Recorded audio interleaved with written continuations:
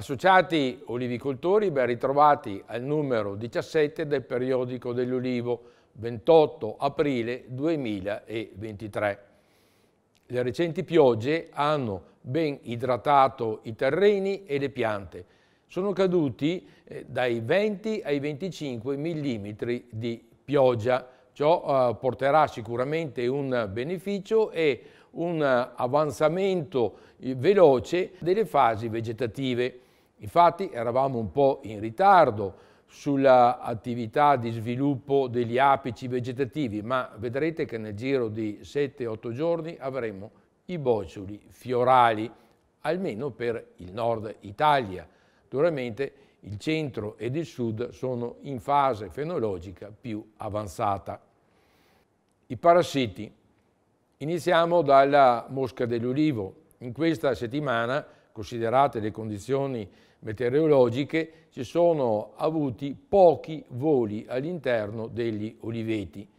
La cicidomia, anche questa è un po' in ritardo rispetto all'andamento degli anni precedenti. Non abbiamo ancora avuto sfarfallamenti da considerare che troviamo molte pupe parassitizzate. Ecco, ciò vuol dire che si sta creando all'interno degli uliveti un ambiente sfavorevole con parassiti di contrasto. Cocciniglia dell'ulivo. Abbiamo trovato le prime neanidi, naturalmente non è ancora il momento più opportuno per attuare azioni di contrasto. Tignola dell'ulivo, poche presenze, limitate, ma già le abbiamo detto, l'andamento climatico di questa settimana è stato sfavorevole per tutti gli insetti. Parassiti fungini, occhio di pavone. In questi casi l'andamento climatico umido e le lunghe bagnature foliari hanno favorito lo sviluppo di questo parassita, ma anche di altri parassiti fungini. Perciò se non si sono attuati interventi fitosanitari con prodotti remeici, è bene ora intervenire. Se trovate delle infezioni di occhio di pavone già presenti, ricordatevi che il rame ha funzione preventiva, perciò se vogliamo attuare un'azione curativa dobbiamo intervenire con prodotti a base di dodina. Il periodo è favorevole per l'apporto del boro, un fertilizzante che è necessario andare a distribuirlo proprio un 15-20 giorni prima della fioritura. Con l'aiuto della lavagna andiamo a vedere cos'è questo boro e i suoi effetti. Il boro è uno fra gli elementi più importanti per il metabolismo delle piante e a maggior ragione anche per la pianta dell'olivo. Entra nella sintesi degli zuccheri, entra nel trasporto degli zuccheri dalle foglie a tutte le parti delle piante che ne hanno necessità, soprattutto per andare a crearmi anche le riserve di amidi all'interno delle piante influisce sulla moltiplicazione cellulare e sulla funzionalità delle pareti delle cellule.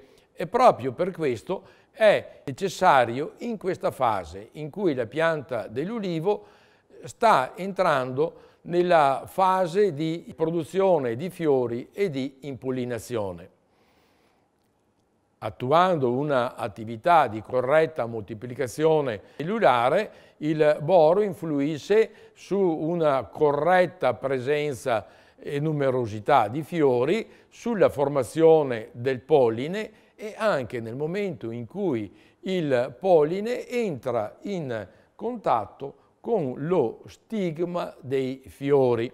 Per cui in quel momento lì il polline deve andare ad emettere il budello pollinico che scende lungo il pistillo, va ad incontrare i miei ovuli e attua la fecondazione da cui si avranno origine le olive. Il boro in questo momento qui è particolarmente necessario perché il budello pollinico deve svilupparsi in lunghezza e lo fa proprio non con allungamento delle cellule, ma andando a creare nuove cellule e soprattutto dalla parte della punta, dalla parte apicale del budello pollinico. È qui che influisse la presenza del boro. In assenza si avrebbe una ridotta o diminuita allungamento del budello pollinico e con molta probabilità anche una mancata fecondazione. Da considerare che il boro in questa produzione cellulare aumenta la capacità di sviluppo degli ovuli e soprattutto del tegumento dell'ovario. Perciò un'attività che è fondamentale per avere buone produzioni di olive. Però come dobbiamo comportarci in questa fase? Come possiamo aiutare la pianta dell'olivo?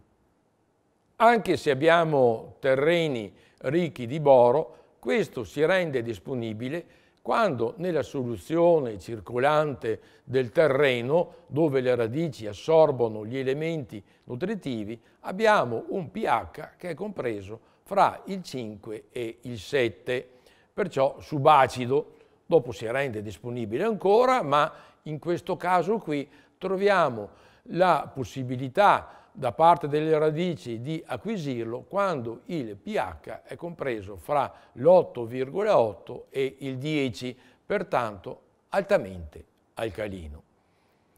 In questa maniera si escludono gran parte delle superfici a oliveto, perciò è necessario apportare il boro, soprattutto in questo periodo dove fra un 15 giorni avremo le fioriture. Come apportarlo? Possiamo darlo con delle ferti irrigazioni oppure più semplicemente con delle concimazioni foliari.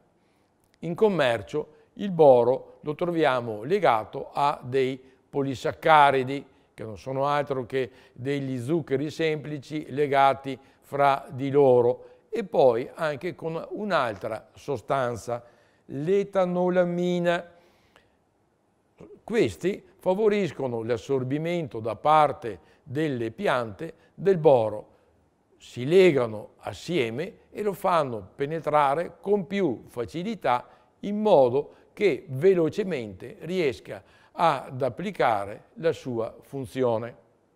Nel ringraziarvi per l'ascolto, un buon a risentirci alla settimana prossima. Campagna finanziata con il contributo della Unione Europea e dell'Italia.